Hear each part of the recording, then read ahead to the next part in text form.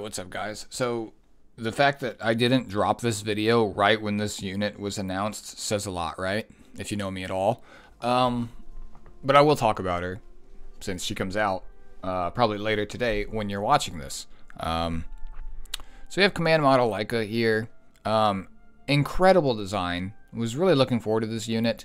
Like I don't, I don't want to say I'm disappointed, right, with how they did her because I think us as a community now, we're we're kind of at the point where we expect everything to be busted. So when they release just like an okay unit, like we complain. But then they release busted unit after busted unit, and we complain. I'm not gonna complain. I'm just gonna give you my thoughts on the unit as she is. I'm not gonna complain that she sucks. Just is what it is. Like you know, the game, like her her design's amazing. She's usable in some content in the game, I'm sure. I don't think every unit that comes out should be must pull top of the meta unit. And I think us as a community, we've kind of gotten to that point where we expect that in every unit to come out. And it's kind of like pulled us away from what brought our attention to this game in the first place. Uh, what initially attracted me to this game was not RTA because RTA didn't exist. I really like the art in this game. I really like the skill animations. I like the effort. Um, I'm not huge on lore or anything, but like the game looks really good. It's still the best gotcha game out there, right? So if we get an okay unit, it's not the end of the world. Let's not complain about it. Like honestly, right? Moving forward here, let's kind of talk about her her skill kit. I, I like this expression a hell of a lot more than this one. Not this one, than this. But yeah, this looks cool. I guess this is her artifact, right? So here's here's her base stats, right? I believe this is SSB stats, which aren't bad. The fact that you see effectiveness here in her awakenings and in her imprints um, all his effectiveness, you know she's going to have debuffs. She's going to provide debuffs, right? These base stats are okay. 114's base speed isn't bad. The attack isn't bad. Health is health and defenses are kind of lacking, right? But yeah, let's move forward. So we have her skill 3 here. Uh, volley fire shoots out all wings to attack all enemies with a 75% chance to decrease speed for two turns and 50% chance to put them to sleep for one turn before granting immunity to all allies for two turns. And that effect goes up. So it goes up to 100% chance to decrease speed. Speed down is a very powerful debuff in PvP and PvE content. Okay, and sleep is a pretty powerful debuff as well, but granting immunity to yourself after sleeping your opponent is kind of counterintuitive because you're going to lose the duration of that immunity anyways, right? That's what a lot of people don't really like about her kit, right? If she stripped with this, I think she would be on par with a lot of units in the game. If she stripped with this, it's just a better Sage Baal S2. Like, it's, it's a really crazy Sage Baal S2. Like, imagine if Sage Baal granted you immunity and put speed down on him, right? That would be so busted. Like, honestly. Like, Sage Baal is really good already. And, like, this is basically his S2. It's just kind of a little bit different, right? It's got, a skill cooldown de- uh, decrease by two turns, so you can do this every three turns, which makes it interesting. I will say, like this ability, it's it's not a bad ability for PvP, but the issue is she doesn't have a strip, right? And we're just at a point in the game where like if you don't strip in addition to you do your debuffs, you know, like Ran or uh, basically, you know, like Ran's like the perfect example. Basar's not really the example anymore, but like like Emma Lilias. Uh, I will keep saying Ran over and over and over again. Um, Ran does this, but better, right? Then you have units like Brysaria. She has the strip as well. And she also does like unbuffable and attack down, right? But she comes with the strip before doing her own debuffs. Um, I just think that units that do debuffs that don't have a strip included just don't fit into the game anymore. And that's no one's fault but Smilegate's because they release those units and it pushes units like this aside because you would never pick this unit over one of those. That's why Silver Blade Araminta isn't good, right? That's why no one really uses her. If she had a strip built in, she would be completely busted. And that's just kind of what they, they've done. And it sucks. That's kind of where the game ended up. Maybe if they never made units, and honestly, this started with Basar Basar was a very big problem in this game for a very long time. I still don't like that unit. you know, he literally gives me PTSD. And it started with him, and it was downhill from there. Like when they included the strips, like I remember when that guy got buffed. And I specifically remember my old guild, or my I was in Veritas at the time. I remember my guild leader, Lilac, who quit the game. Um, if you're unfamiliar who, with who that is, he's Elu 12. If you go to the uh, the arena rankings and you go all the way down to the first season, he was number two the first season of arena. He said this unit was going to be the most busted unit in the game, and he held that title until he got power crept. Right, Basar was like the best PvP unit in the game, and um, of course he got power crept. And then basically, and but now they're going back to release units that are like bef- before that time, right? And like Laika back then would have been insane, right? But right now she just doesn't really fit in the direction of the game, which is just kind of unfortunate. I fully expect this unit, like with community outrage, will probably get a buff, and she probably eventually will get a strip attached to this ability, and it'll be a stacked ability, and it'll be busted, and she'll be overtuned just like Violet was when he got his buff, right? It's going to happen with her eventually. It's probably not going to be for several months though, because uh, unless they they just buffer immediately um, following community backlash, and then we're just still on that trend where every unit that comes out is busted. Um, Zahhak, I think, is a very fair and balanced unit. The problem is there's too many busted units in the game for him to really shine, right? I think Zahhak is a really greatly designed unit. Like people are like his S2 sucks, but like I see a lot of utility in his S2.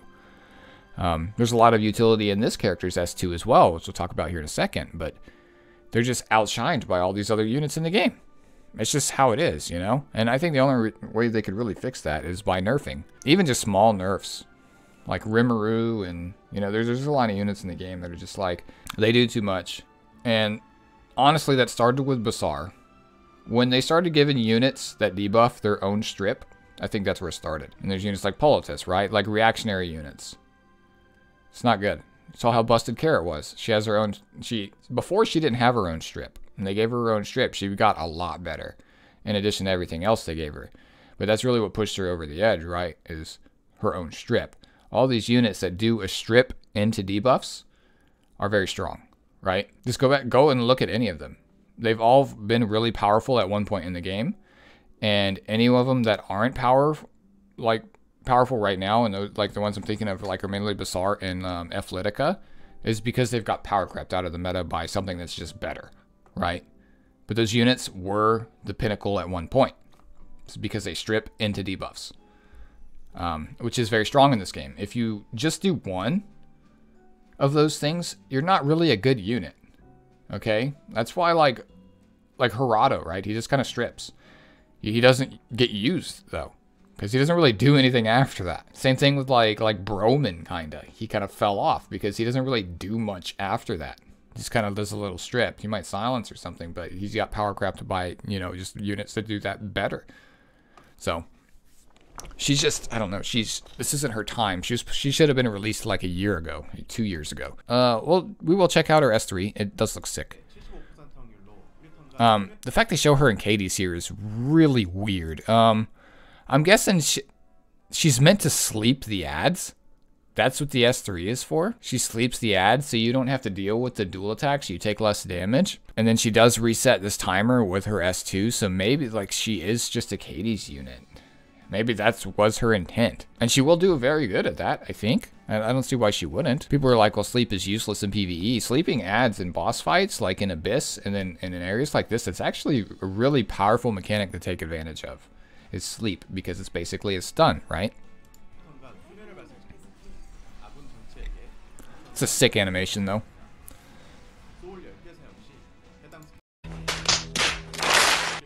She didn't even... Oh, they're immune to sleep. So I actually just trolled myself. Well, some units in Abyss aren't. so I guess like the sleep is irrelevant here. I don't even know why they show her in Katie's. I guess just because she can reset her danger level with her S2. Her S2 is really nice, but that's odd. Okay, here's the S2. Selects an enemy with a 100% chance to target them for two turns. Increases attack of the ally except for the caster with the highest attack for two turns.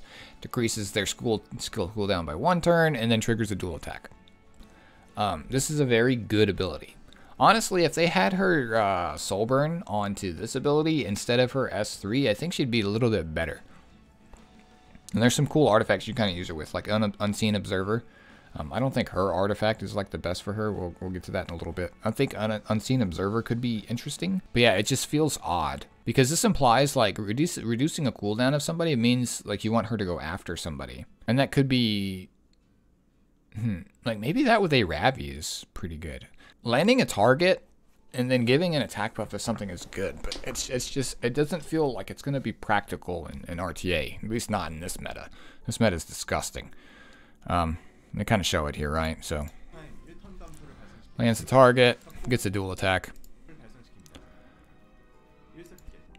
And then she basically has a gimped version of ML Carrick's S1, which is nice for rotating, right? I mean, cool. Um, you can run like her on Confit maybe, or something like that. But she just pushes your units, which is it's just kind of nice. It's not a badass one. And then we have the um, artifact here.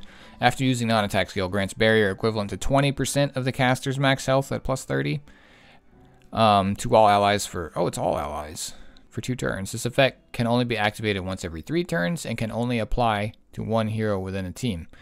So you can't use like uh, multiple copies of this artifact. Like you can't throw Yuna, Laika, Flan all on one team, all with this artifact on and get constant barriers. That's basically what's saying you can't do that. But um, I don't think this artifact's amazing. Maybe on a tanky Flan it would be okay, but I still think an Unseen Observer is just better slotted in any team that's gonna be like extra souls, at least from a PvP perspective. Um, PvE perspective, I don't know. Uh, maybe the barrier will help you a little bit, but I, I don't. Why would you use that? Like you just use like Infinity Basket and get extra push on your team. You know, that's a four-star artifact. Uh, but it's very strange. It's a strange unit. She looks really cool. Um, I, there, there may be some use that we're not seeing. C Saria is an example that I'm always going to fall back on, right? People said she sucked because she didn't strip first. Now she's like one of the biggest problems with the game because Ran came out. This unit might be just as good with Ran as Caesarea is, to be honest. We, we just don't know yet, right? Because she's not out. She might fit into that draft. Um, people, like myself included, thought Jay Kise's buff was going to be trash. She fits in that draft. This unit can arguably fit into a closer Charles draft too. Target's pretty nice. Lets you hit those evasion units, and it's not it's not a attack skill. So like if you're running like a Charles Cleave and you have her slotted in your team after they drafted like a Violet or a Rylet, right? You you open with your Charles, you use her S2, and then Charles smashes one of the Violets. Like I, I do see some uses in here. And then, you know, with Unseen Observer, she rotates a little bit faster. Um, maybe you have their team locked down with something like like Lilias gives like a tack down, and then you can follow up with her. I think there there might be some use to her that I'm seeing. Uh, I don't know how practical it's going to be. I don't know how good it's going to be. Um, I'm not going to say she's dog shit because I, I honestly don't think she's dog shit.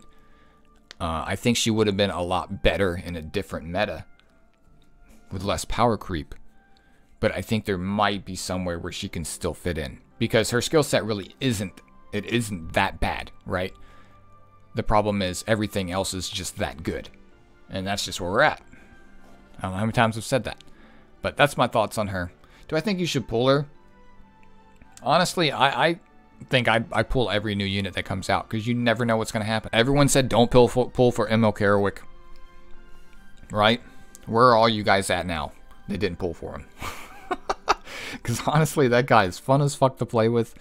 And he's one of the strongest units in the game now. And I guarantee you, a lot of the YouTubers you guys watch said don't pull him.